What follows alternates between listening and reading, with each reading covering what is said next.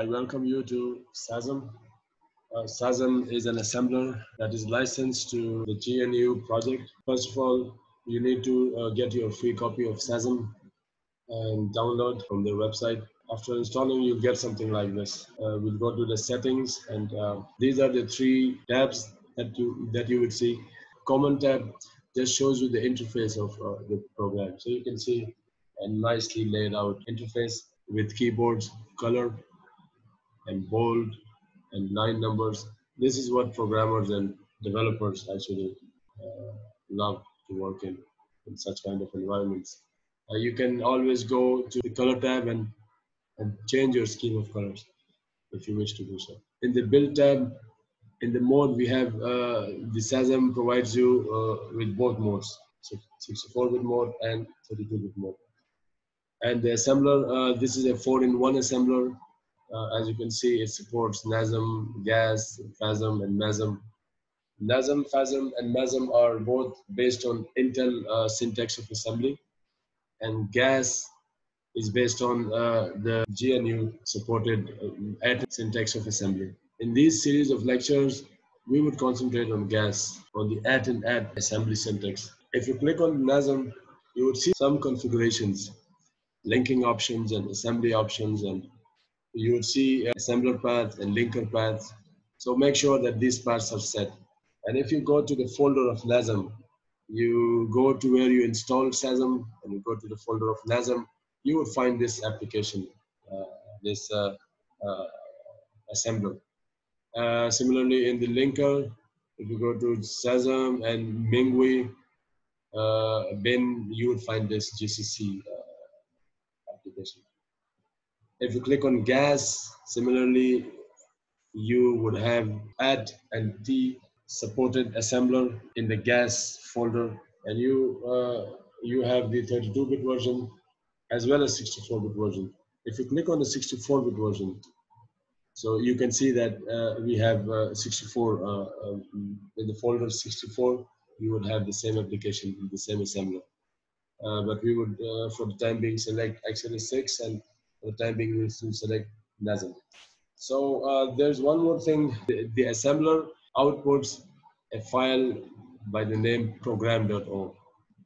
Uh, if you want to build this file in your uh, present working directory, you click on this, uh, you check this box. So let's start, we'll click OK.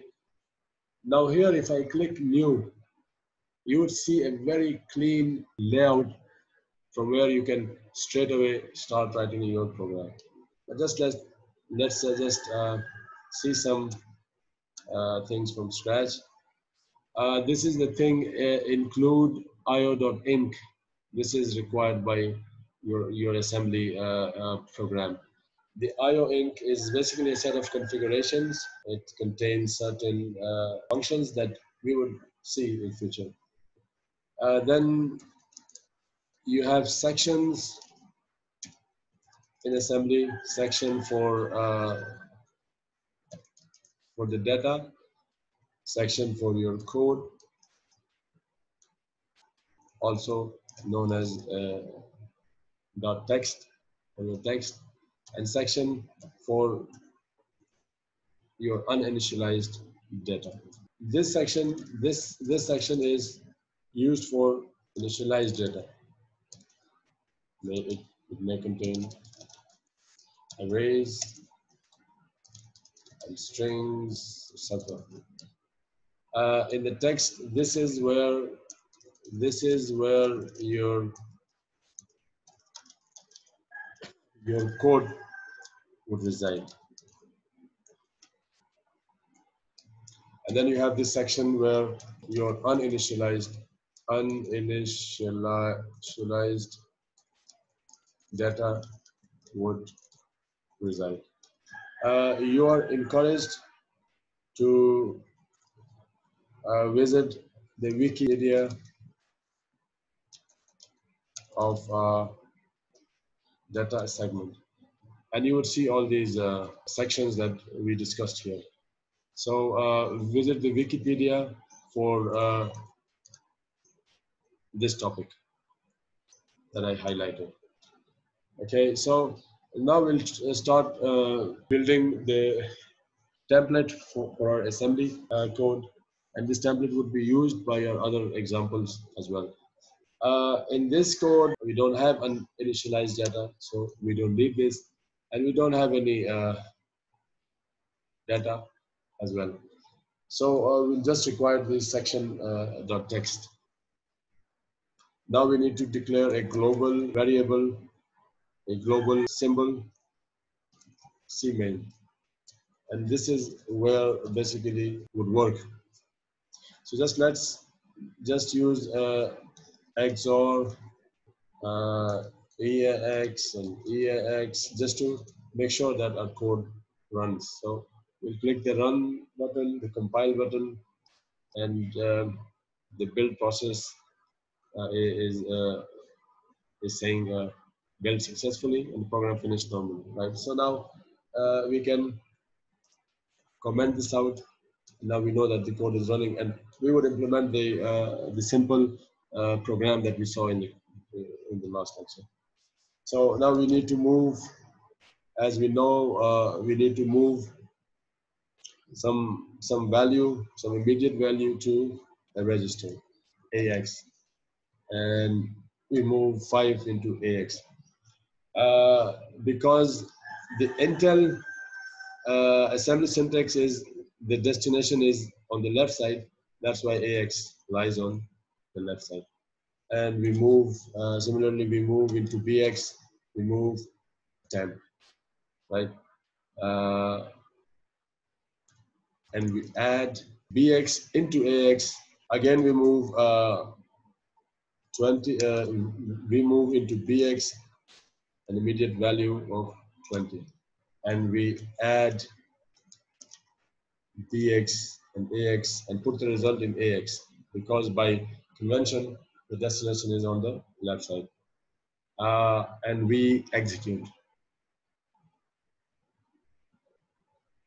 Okay, so build successfully, and the program finally, uh, uh, the, the program finished normally, right?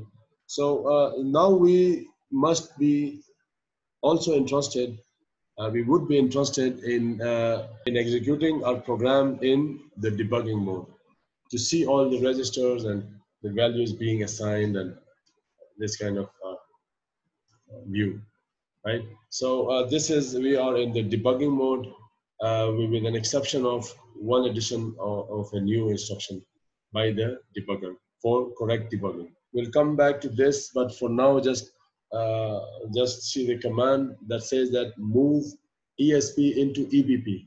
So now essentially, uh, these are the base uh, base pointer and the stack pointer.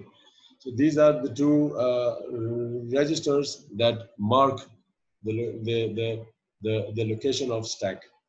So uh, through these registers, we basically access the stack segment. Uh, now, by this command, makes uh, ESP and EBP point to the same location of stack. And let's execute. We have two options, uh, step over and step in. We'll uh, use the step over. Uh, now this uh, instruction, when this gets executed, so on the left side, on the right side, we have all the registers, like AAX and ECX, EDX and EBX, and we will see the values getting changed in these uh, registers. Step over, uh, 5 should go to AX, and we can see that 5 uh, is, in, is already in EAX. In BX, we have A, which is a hexa representation of 10.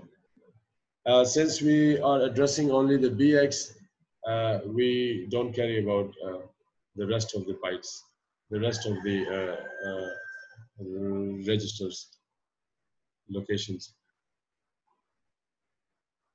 We add, and the result should be 15, and 15 is placed in AX we see 15, the hexadecimal for 15 is F.